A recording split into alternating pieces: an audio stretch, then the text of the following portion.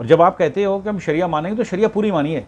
मैं तो कहता हूँ, इस सरकार से रिक्वेस्ट करता हूँ कि भाई मुसलमानों पे शरिया लागू करवा दीजिए साहब। मुसलमानों का कोई भी मामला होगा, वो शरिया के रखा जाएगा। मुफ्ती अपॉइंट कर दीजिए, हर डिस्ट्रिक्ट के अंदर। ज़िला जज नहीं होगा, मुफ्ती जज होगा इनके यहाँ, जितने ज़िले हैं भारत के अंदर। और वो सज़ा देगा। छोटे से जेब काट के निकलेगा ईद की शाम को।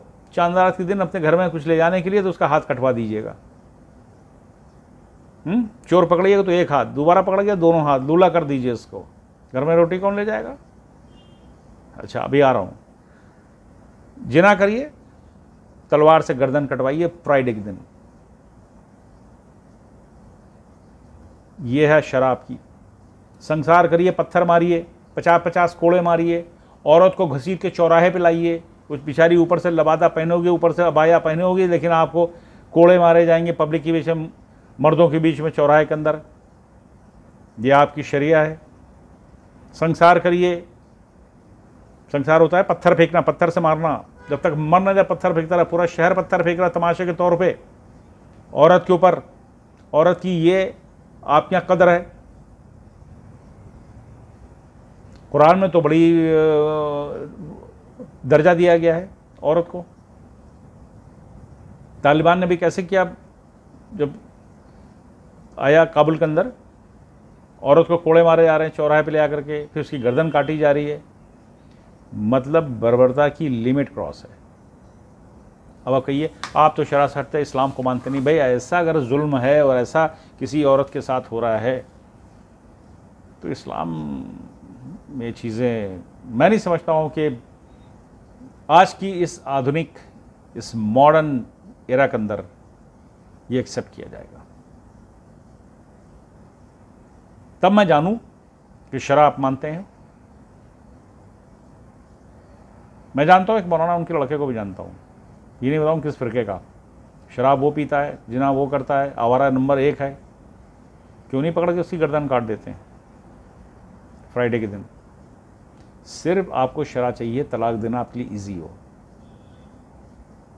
इसके अलावा आपको शरा नहीं चाहिए। शरा आपको पढ़ाई के लिए नहीं चाहिए, ईमानदारी के लिए आपको शरा नहीं चाहिए। हमारी शरिया चलेगी। संविधान के दायरे में आएँगे ना, सबके होश ठिकाने लग जाएँगे। तीन तलाक हटा दी भारत सरकार ने। मोदी साहब ने हटाई थी।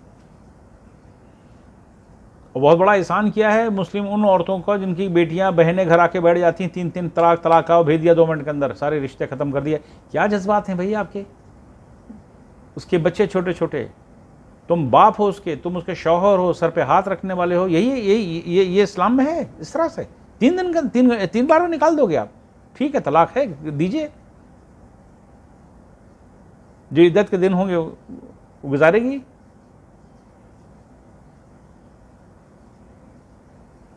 शरा और चीज़ में चलाइए ना, लेकिन मुल्क शरा से नहीं चल सकता है। कोई भी मुल्क होगा, वो अपने संविधान से चलेगा। आपके लिए स्पेशल दर्जा अलग से नहीं हो सकता है।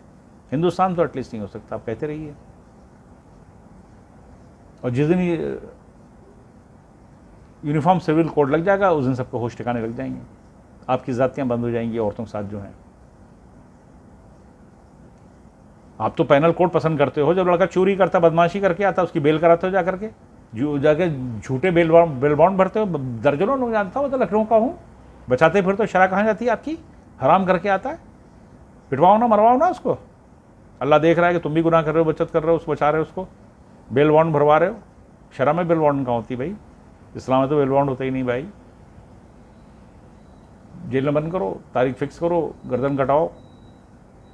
जिस दिन लागू कर देगा ना भारत सरकार, कि शरिया ही चलेगी तो शरिया पूरी होगी मुसलमानों के लिए, कोर्ट अलग होगी।